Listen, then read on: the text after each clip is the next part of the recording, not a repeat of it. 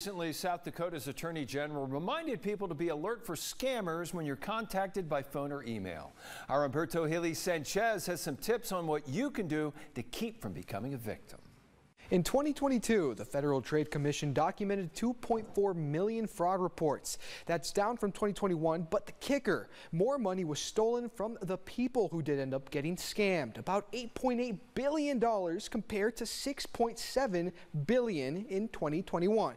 The main reason for these scams, those imposter calls impersonating banks, government agencies, or local businesses. Protecting yourself from these calls can be as easy as being wary of calls that promise a big reward for as little as a simple gift card, a payment via wire transfer, or other payment apps, for example, Venmo, Zelle, or Cash App. Something else that you can do to help vet scam callers is to ask the caller for more information about the company they supposedly work for, asking their name, the official phone number of the company, and what exactly the report said. In addition, if the number that is calling you sounds like a robot and is asking you to press a button before getting support, don't.